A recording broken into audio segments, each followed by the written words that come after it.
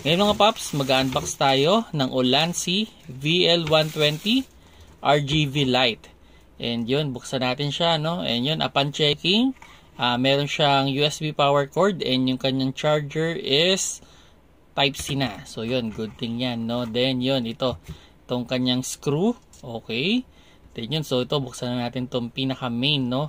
Okay, so yun, so, ang liit lang niya, no? Ang liit lang niya. Yun, and uh, yun, para siyang sabon.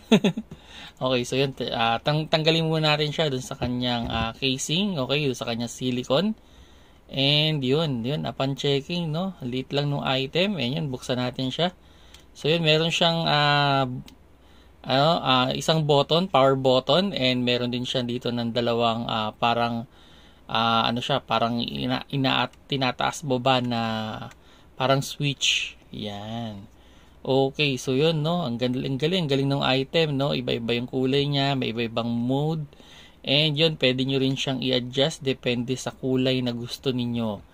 Okay, yun. So, yun, no? Ang galing, galing. So, yun, ikabit naman natin itong uh, kanyang uh, parang casing, no? Actually, hindi naman siya totally casing, eh. Kumbaga, uh, para lang mag-reflect uh, yung ilaw, medyo mas mag-wide yung ilaw. So, yun, lagay natin siya. Parang goma siya. Okay, so yun, no? Galing, galing ng item. So, ito yung uh, Ulanzi VL120 RGB light.